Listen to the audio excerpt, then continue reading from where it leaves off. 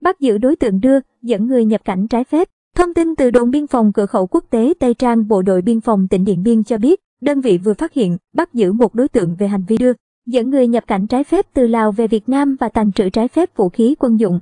Cụ thể, vào lúc 13 giờ ngày mùng 8 tháng 1, tổ công tác của đồn biên phòng cửa khẩu quốc tế Tây Trang đang làm nhiệm vụ tại đường mòn gần khu vực cột mốc 117 địa phận bản Na Ư, xã Na Ư, huyện Điện Biên, tỉnh Điện Biên thì phát hiện hai người đàn ông di chuyển trên xe máy đi từ Lào về Việt Nam có hành vi nhập cảnh trái phép. Tổ công tác đã yêu cầu dừng xe kiểm tra và qua đấu tranh, người điều khiển xe máy khai nhận là Và A Xế, sinh năm 2001, trú tại bản Hô Thanh, xã Hô Thanh, huyện Điện Biên, tỉnh Điện Biên.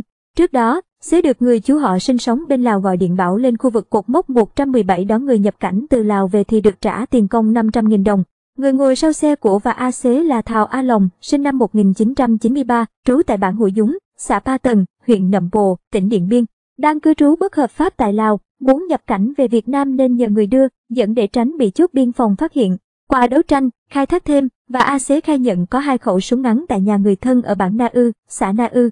Đồn biên phòng cửa khẩu quốc tế Tây Trang đã tiến hành xác minh, qua khám xét đã thu hồi hai khẩu súng ngắn ghi xuất xứ do nước ngoài sản xuất cùng 19 viên đạn.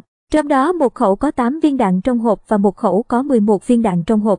Đối tượng xế khai nhận hai khẩu súng ngắn này được người chú gửi nhờ.